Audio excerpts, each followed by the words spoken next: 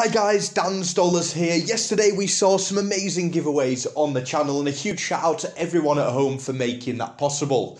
There is still one giveaway open, however, over the last two weeks you have been voting for your favourite coins in daily knockout. At the start of last week, there was actually 20 coins in the knockout. Coins from all over the world, UK, American coins, 50 pence commemorative, Isle of Man coins. We whittled it down to two in the final, the Sir Isaac Newton and also the Steve Hislop £2 coin. And the Steve Hislop was crowned the 2021 coin champion, the first coin champion of the year. Both of them are available currently in a one day giveaway, and you do have until 8 pm tonight to enter. This is just a reminder video. If you haven't entered yet, you can either comment on this video or on the video that went up yesterday. Start the comment with 2021 and you will get put into that prize draw tonight.